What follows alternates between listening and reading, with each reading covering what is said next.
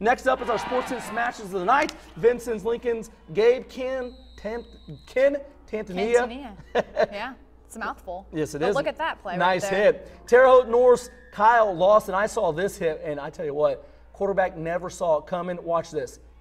Boom! Oh, I that hurt me from watching it. You got a big guy landing on you like that. You do not want that to happen. And you'll feel you'll feel that tomorrow. I can tell you now. Feel that Sullivan's. Evan Connor, huge offensive game, also delivering some big time punches on the defensive end. Wow, what a hit there! Rockville's Nathan Webster. We got some Rockville guys over the year win the Sports 10 Smash of the Year. They know how to hit. Look at that, drilling them. And Owen Valley's Patrick Hirschberger. He's a fullback here. Fullbacks, uh, they don't get a lot of credit because you know what? They open up the holes for the running backs. Look at him with a big time block, opening up the hole for his running back right there. Nice block by Hirschberger.